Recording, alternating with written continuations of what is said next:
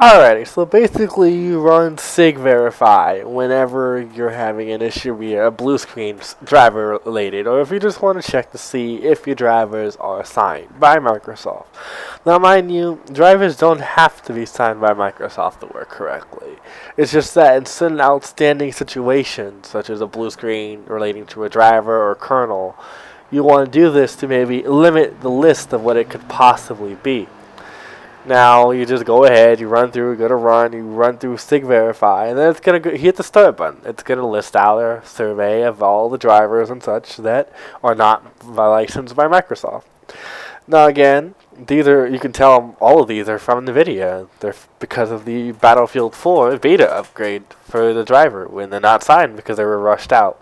That doesn't mean that these are going to cause a driver on my uh, crash on my video card. It just means that these were unsigned versions. Now, in your case, you might find ones in here that might lead to fixing a blue screen, but it's worth knowing how to get here just in case you need to.